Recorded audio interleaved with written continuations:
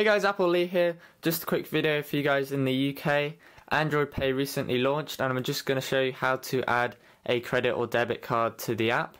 So once you've downloaded it from the Play Store, go into the app and you'll see you can add a debit or credit card and then any previous cards that you have will show up here or you can go through and add another card by scanning it or entering the details manually. So you select the card enter in your details. Then when that's done, you just scroll down to the bottom, accept the terms and conditions. It will go through and contact your bank. You will have to get a text or uh, email from your bank to confirm the card.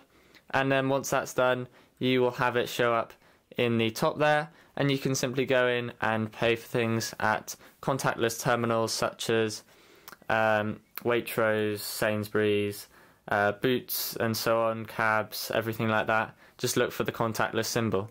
Hope this helped you guys. If you have any questions, post them down below, and I'll see you guys in the next one.